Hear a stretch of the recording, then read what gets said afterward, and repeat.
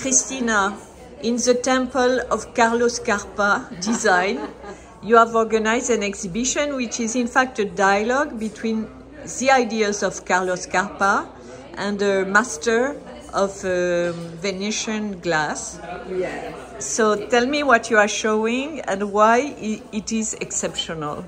But it is exceptional because Massimo Micheluzzi has accepted this uh, uh, great challenge uh, to create uh, 50 vases in dialogue with the architecture of Carlo Scarpa.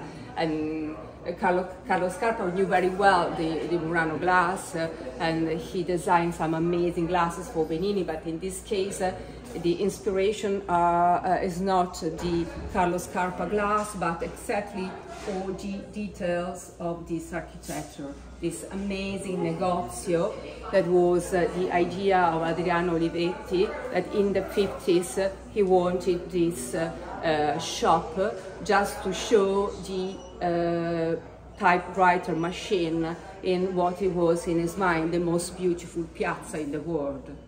And so there's a performance about the glasses, about the vases. Why is it difficult to do? But it, it is super difficult to do because uh, it's glass, but at the very first sight you think that it's ceramic because it's not transparent. The transparency of the glass is just inside because the base of the glass is like a, a, a system of different tiles. It's like a mosaic. Imagine to blow a mosaic. To blow the, the, the inspiration, for example, for, uh, for this vase is exactly the floor that you have downstairs. And But imagine, look at the floor. yeah, but look at this floor created by Carlo Scarpa, inspired by Paul Klee. Ah. Yeah, in fact, you see that all the tiles have little different nuances uh, because he was very attentive of all the chromatic passages of uh, um, Paul Klee. And, And Carlos but so to make that, how many people can make that? No, just Massimo Micheluzzi. Ah, really? Nobody else. Yeah.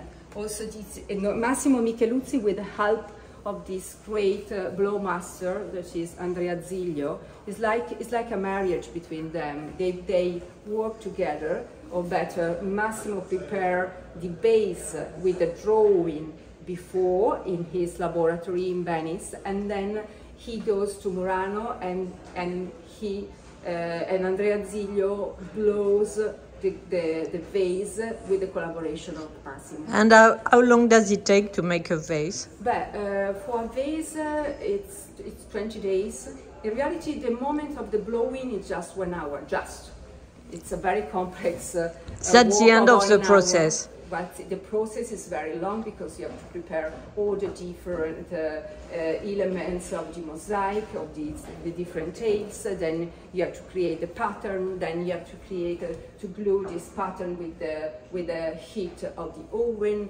And then uh, you have the blowing moment and then you have a sort of post-production when you have just to, uh, to correct all these, for example, the, the holes here, and um so it's very, it's very long. Bon, merci madame. You're welcome, darling.